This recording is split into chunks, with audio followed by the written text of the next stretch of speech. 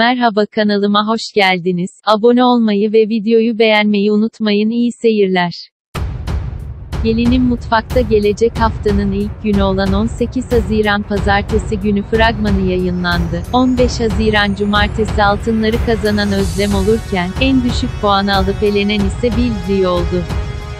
Yeni haftanın fragmanı yayınlandı işte detaylar. Hüsniye Hanım, yeni gelen kaynanayı sorguya çekiyor. Yeni kaynana oğlum benim sözümü dinler demesini. Hüsniye Hanım gülerek gelinine sözün geçmiyor demek ki diyor ve, devam ediyor senin gelin oğlunu fişekliyor demek ki diyerek kahkaha atıyor.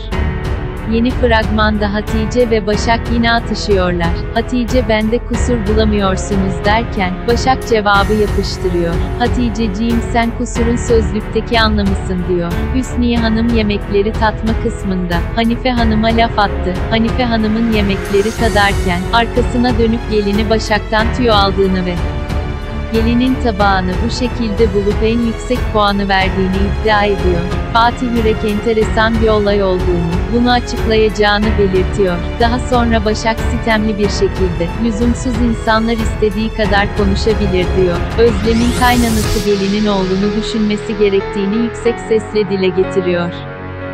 Yeni gelen gelin de arabayı almasaydı oğlunu zor görürdü diyor ve bütün kaynanalar şok geçiriyor. 18 Haziran Pazartesi gelinin mutfakta yeni bölümü heyecanla bekleniyor. Videoyu beğenmeyi ve kanalıma abone olmayı unutmayınız. Hoşçakalın.